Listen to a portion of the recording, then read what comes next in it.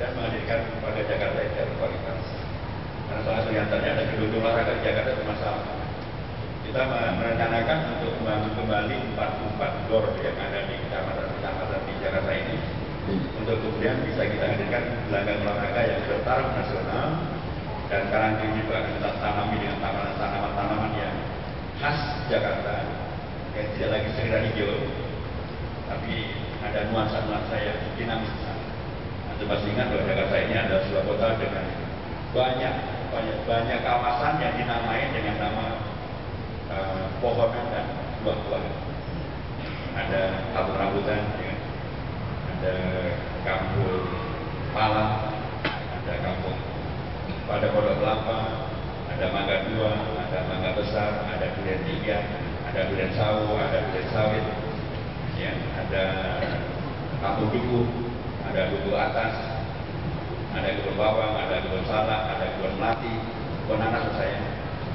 Ada bahkan ternyata saya juga baru saya di Kemang tapi ternyata Kemang itu adalah nama pohon yang berbuah juga.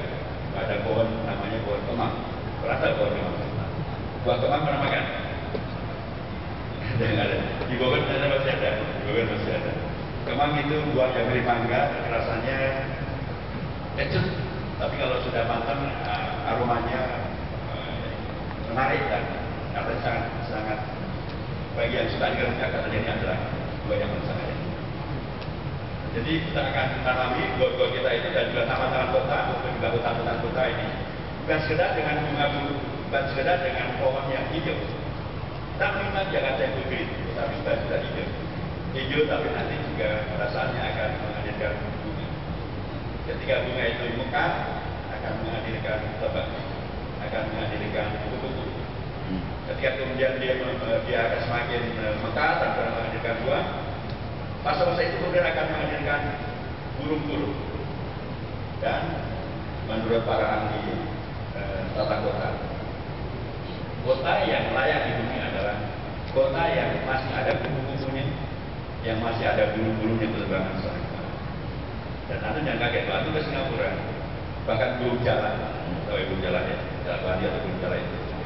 Kalau kita makan di restoran di hotel di Singapura di tempat yang terbuka itu burung datang dengan uh, nyaman dan tidak pernah takut untuk kemudian memakan, mengambil makanan yang tidak Singapura saja, uh, negara pulau yang sangat kecil itu, burung-burung berterbangan dan tidak pernah takut. Dan di Indonesia, sepelin gitu ya. Jakarta di sempretin gitu. Kita akan hadirkan kembali dulu begitu. Dulu akan kita hadirkan kembali, tubuh kita akan hadirkan kembali, lebah akan kita hadirkan kembali.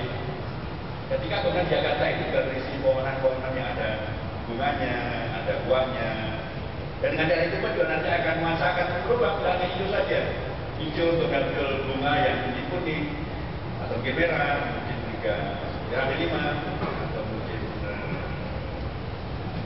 warna-warna yang lain ini. Tapi kemudian akan muncul uh, pohonan apa buah-buahnya kecil kemudian besar geranum berbuah ber, bergantian masak merah merah ya, merah rajelaga dan seterusnya. Dan sekarang di Jakarta kita perlu menghadirkan rasionalisasi apa?